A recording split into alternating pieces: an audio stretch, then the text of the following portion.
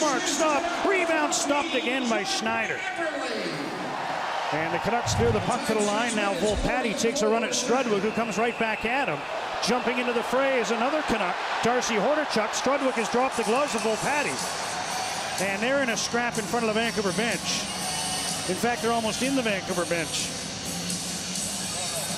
Down they go to the ice. Volpatti tried to throw another one once they were down. Linesmen jump in.